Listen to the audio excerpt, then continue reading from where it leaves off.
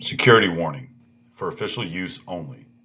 All individuals handling this information are required to protect it from unauthorized disclosure. This information should be disseminated on a need-to-know basis via controlled media, CD, mobile hard drive, paper, etc. Do not transmit this material via any unsecured email network. This document is a product of Critical Solutions International. It is not for public use, but is intended for use by authorized personnel. This information is not to be released without written authorization from Critical Solutions International. Destroy this material when no longer needed. At the conclusion of this class, you will be knowledgeable on how to safely and properly enter and exit the Husky 2G. Warning. Always enter and exit the vehicle from the right side of the rear bumper and use the hand railing, steps, and grab handles provided. Always maintain three points of contact when climbing on vehicle. The vehicle operators must wear the Combat Vehicle Crewman CVC helmets while performing all operating procedures.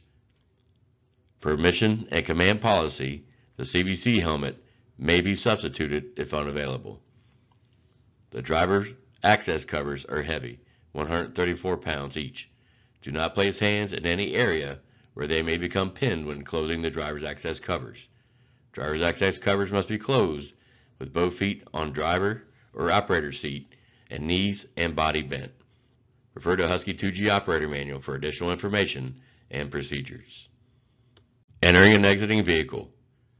Note, perform steps 1 through 7 to enter operator's compartment. Perform steps 8 through 16 to exit operator's compartment.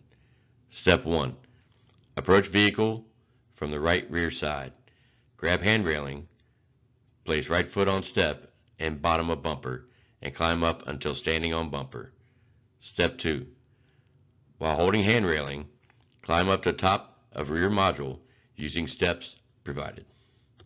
Step 3. With both driver access covers open, slowly climb into the operator's compartment using the footsteps between the driver and operator's seats while grabbing the side grab handle of the roof frame. Step 4.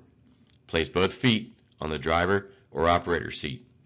Note, the left driver access cover must be closed before the right driver access cover can be closed. Step 5. While standing on the driver operator seat, lean against seat back, rest and reach out and close the left driver access cover followed by right driver access cover. Step 6. Bend down, grab steering wheel, place feet forward one at a time and climb into seat. Step 7. Put on safety belt harness. Step 8. Release safety belt harness. Note, the right driver access cover must be opened before the left driver access cover can be opened. Step 9. While squatting with both feet on driver or operator seat, slowly open right driver access cover, followed by left driver access cover. Step 10. While standing upright on the driver or operator seat, place left and right hands on side edges of roof frame and step up on the footsteps located between the driver and the operator seats. Step 11. Push up with arms and legs until both feet can be placed on side edges of the roof frame. Step 12.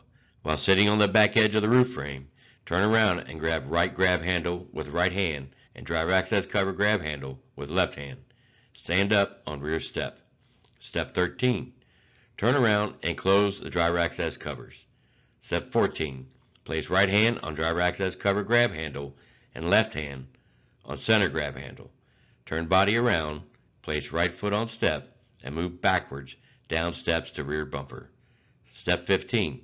With right hand on hand railing, move backwards using steps on the rear module unit standing on top of the rear bumper. Step 16. Hold on to hand railing with right hand and step down backwards onto lower step and onto the ground.